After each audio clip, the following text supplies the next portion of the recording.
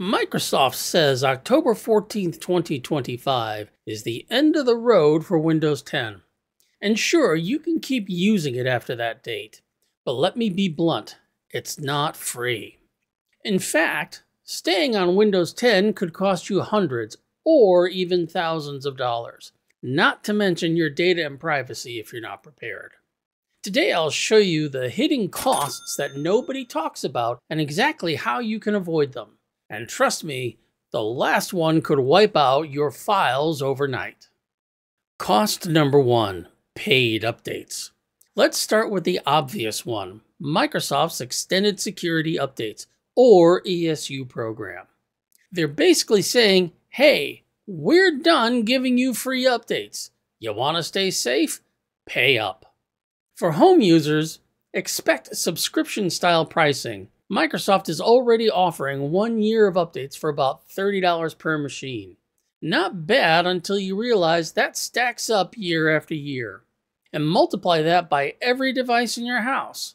Now, Microsoft has a sneaky trick here too. You can technically get the updates for free if you link your Microsoft account, enable OneDrive, and set it to back up at least one folder like desktop documents or photos. Once you do that, boom, you're eligible for the ESU program. Sounds great, right?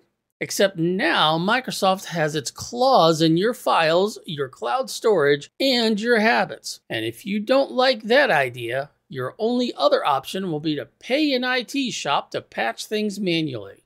And spoiler alert, that won't be cheap.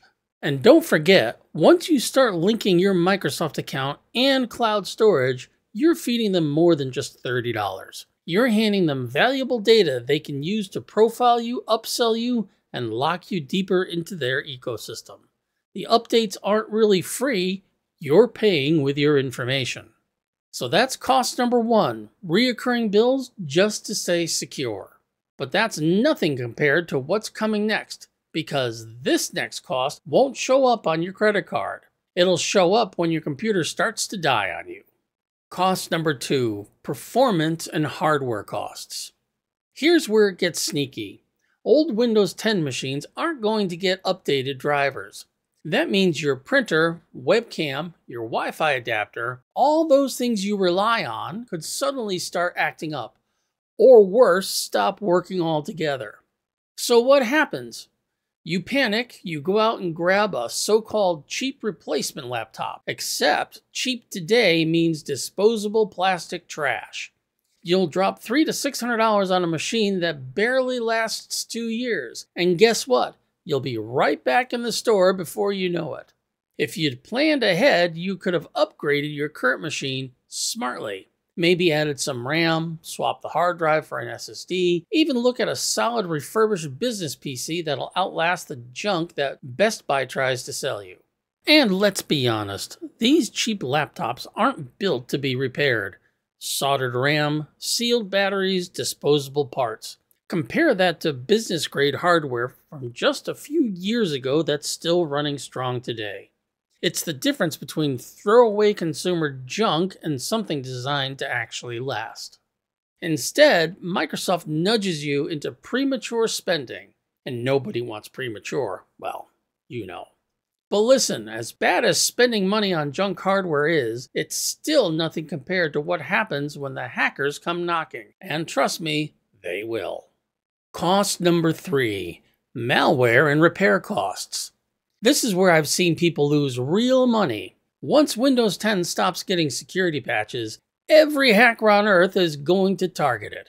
It's like leaving your front door unlocked with a neon sign that says free stuff inside. What happens when you get hit?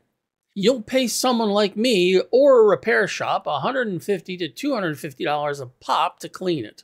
Or worse, ransomware hits, locks your files, Suddenly, you're staring at a $2,000 ransom note.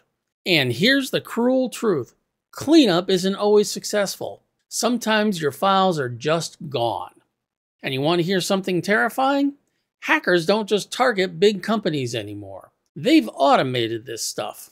Your grandma's Windows 10 PC is just as likely to get hit as a corporate server. And here's what a lot of people don't realize the hackers don't even need to target you directly. They just spray the internet with automated attacks looking for outdated systems. If your PC shows up, congratulations, you just won a one way ticket to infection. So not only are you out of money, you're out of time, which brings me to the cost that almost nobody talks about. Cost number four lost time. Most people don't think about this, but time is money. When your machine goes down, it's not just about repair bills, it's hours, sometimes days of downtime. You can't pay your bills online, you can't access your email, you can't hop on a Zoom call with your family.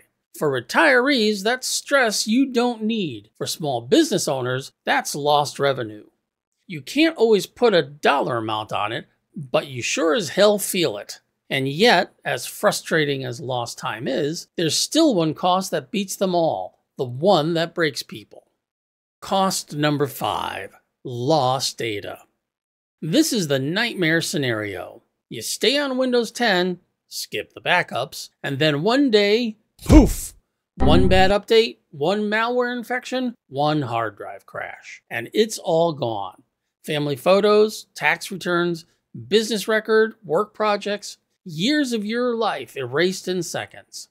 And here's the kicker professional data recovery starts at $500 and can hit 2 grand or more. And even then, there's no guarantees. So the real cost of staying on Windows 10 isn't just a Microsoft subscription fees. It's not the $500 you wasted on a cheap laptop. It's not the $250 repair bill. The real cost is your peace of mind and possibly your life's work. And honestly, that's a price nobody should have to pay. So here's the bottom line staying on Windows 10 after October 14th, 2025 is possible. But if you don't prepare, you're not just risking money, you're risking your security, your time, and your data. Look, I'm not saying you need to panic, but you do need a plan, whether that's moving to Windows 11 switching to Linux, or hardening your Windows 10 machine with the right tools. Doing nothing is the most expensive option of all. That's why I put together my Ultimate Windows 10 End of Life Survival Checklist. It's a free step by step guide that shows you exactly how to protect your system, secure your files, and avoid getting burned by these hidden costs. Hit the link in the description, grab your copy, and save yourself a world of pain. And hey, if you found this useful, smash that like button, subscribe to the channel, and ring the bell so you don't miss the next one. Because trust me, the worst thing you can do is wait until October 14th, 2025 and do nothing. And remember, my friends, back up your stuff, keep your systems patched, and above all else, stay grumpy.